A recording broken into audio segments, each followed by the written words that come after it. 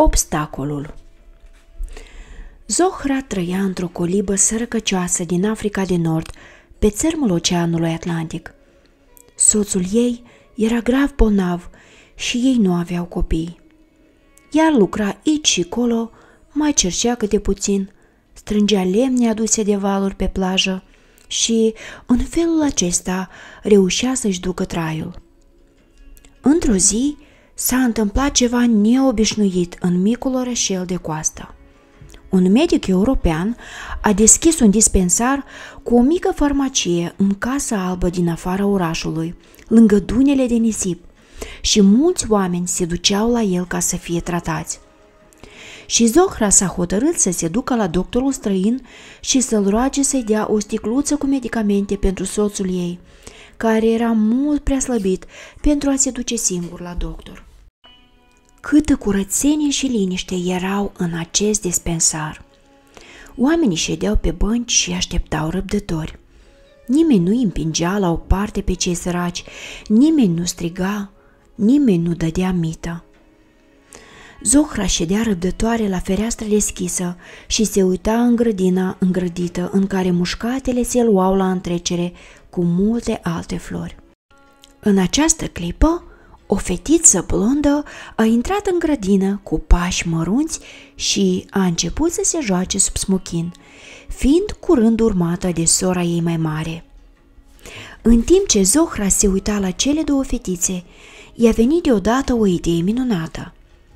Fetițele se jucau în nisip, probabil că ele își vor murdări rochițele, iar bluza albă a tatălui lor se putea murdări și ea. Precis că familia avea nevoie de o spălătoreasă, iar dispensarul trebuia cu siguranță curățat în fiecare zi. Ea a uitat complet că venise ca să cumpere sticluța cu medicamente. A ieșit repede și a bătut la ușa locuinței. A ieșit o femeie tânără și a întrebat-o într-o arabă șovăitoare ce dorește. Am venit să fiu spălătoreasa dumneavoastră, a zis Zohra. Vă voi spăla hainele ca să fie la fel de albe ca laptele. Voi face curățenie în casă și voi face de mâncare. Voi veni în fiecare zi. Tânăra femeie a râs. Da, într-adevăr am nevoie de o spălătoreasă, dar vin o mâine din nou.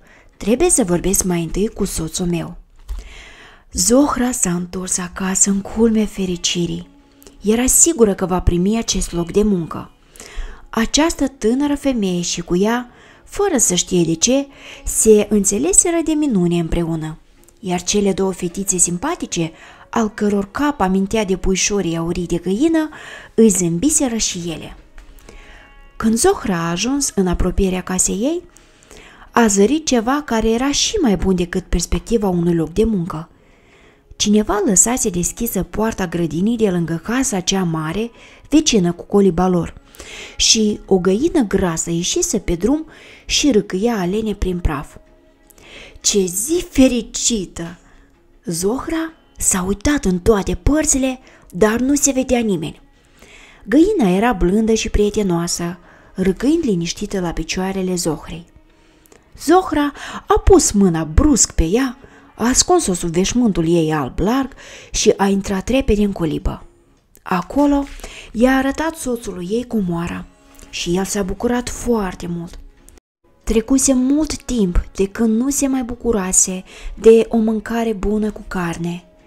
El s-a dus șontâc șontâc în curte din spate și a tăiat gâtul găinii. Zohra a jumulit-o repede și a ascuns penele în nisip. Apoi a aprins focul și în scurtă vreme găina era în oală, alături de pătrunjel, ceapă, morcov și condimente. O, ce zi minunată fusese aceea! Tânăra englezoaică a făcut câteva investigații, apoi a angajat-o pe Zohra ca servitoare. Zohra era mai fericită ca niciodată. Îi plăcea cafeaua cu lapte îndulcită pe care o primea în fiecare dimineață când sosea și le iubea pe cele două fetițe cu părul ca puful puișorilor de găină. Dar exista un lucru pe care nu-l putea înțelege. După ce își bea cafeaua, Englezoaica se așeza în fiecare dimineață lângă ea și îi citea cu voce tare din cartea ei sfântă câte ceva despre Isus Hristos. Crede ea cumva că la vârsta mea mai pot eu citi sau înțelege ceva? Gândea Zohra. Mai poate o pisică bătrână să învețe să danseze? La început ea nu asculta și nici nu reținea nimic. Pur și simplu făcea pe surda. Dar cuvântul lui Dumnezeu este viu și puternic și poate înfrânge chiar și cea mai mare indiferență. După câteva săptămâni, Zohra a observat că își amintea de lucruri pe care nu le auzise niciodată în mod conștient. De exemplu, istoria cu cei 5.000 de oameni care se săturaseră cu toții din 5 pâini și 2 pești. Era o istorie minunată și ea a povestit-o acasă soțului ei. Și apoi mai era istoria cu oaia care se rătăcise. Treptat, Zohra a observat că se bucura de aceste istorii și era tare dezamăgită când trecea o zi fără să audă vreuna. Fără să-și dea seama, a început să-l iubească pe acela care vindecase orbii și înviase morții. N-a mai durat mult până a început să înțeleagă faptul că acest Isus trăia încă și stătea invizibil lângă ele atunci când citeau din Biblie despre el – în această casă în care era iubit, în care era binevenit și datorită lui domneau în casa aceea pacea, bucuria și râsul. Îi plăcea să stea în acest cămin și n-ar mai fi plecat niciodată din el.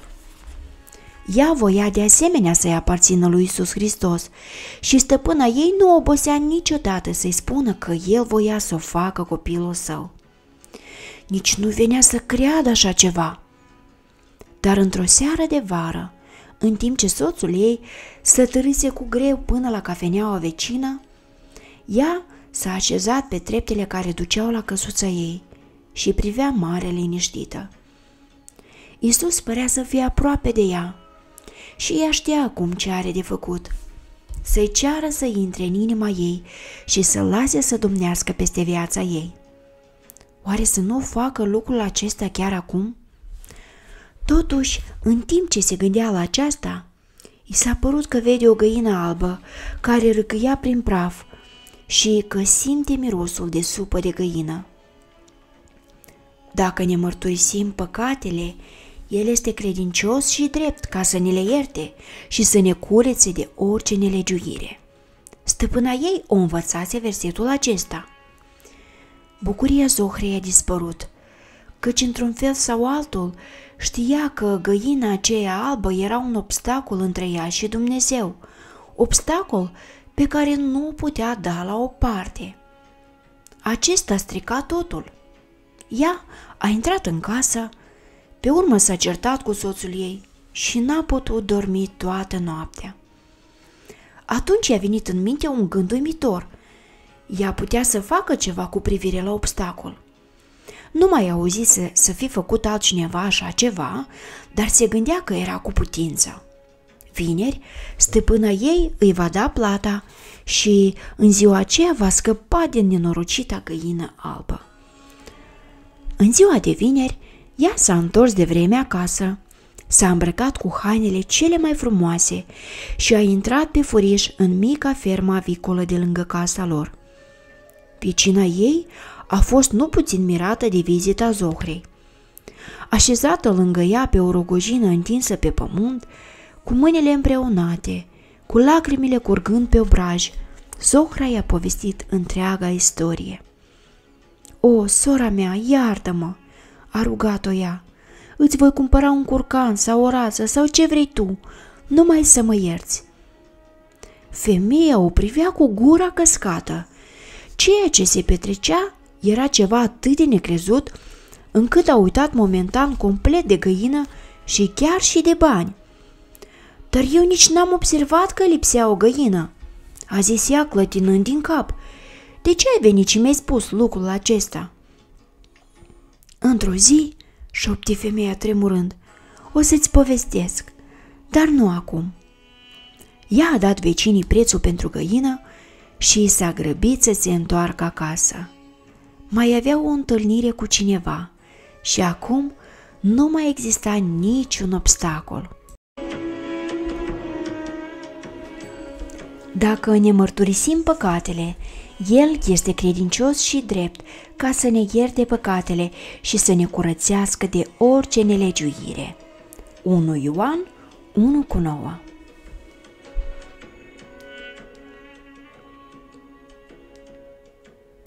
Dragi prieteni, vă invit să vă abonați la acest canal de YouTube pentru a asculta cele mai frumoase povești creștine, bune pentru inima voastră și bune pentru caracterul vostru.